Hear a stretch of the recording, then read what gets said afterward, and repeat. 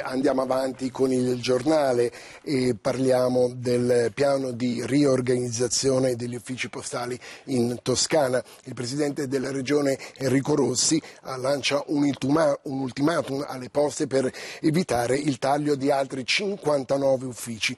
Se l'azienda non farà marcia indietro, la regione taglierà le convenzioni economiche e chiederà ai cittadini di ritirare i propri depositi. Sentiamo in proposito Giulia Baldi a Cannes nessuno è fesso, ecco. nel senso che ci avevano promesso di aprire un tavolo a febbraio, poi dopo hanno detto che si sarebbero fermati. Il presidente della regione, Enrico Rossi, è ancora più agguerrito dopo la decisione di Poste di insistere nella chiusura di 59 uffici postali nei piccoli comuni. Oltretutto, dice, ne sono già stati chiusi un centinaio. In ballo c'è la garanzia di un servizio pubblico. Chiuderli significa lasciare in stato di abbandono tanti anziani. Per questo il governatore chiede di essere convocato al più presto a Roma per un tavolo di trattativa vero.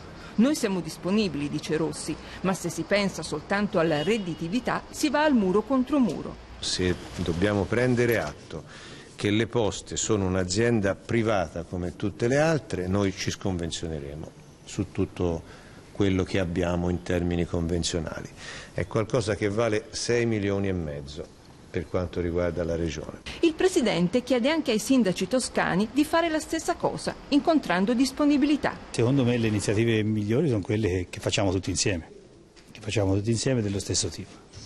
Quindi ANCI si sta facendo carico di questa di questa situazione insieme alla Regione. Se anche questo non basterà, Rossi chiama a raccolta tutti i toscani controposte. Inviteremo i cittadini della Toscana ad essere solidali con gli anziani che vengono lasciati soli che non potranno più ricevere la pensione, togliendo il libretto, il conto corrente e il deposito dalle poste. Aspetto la convocazione.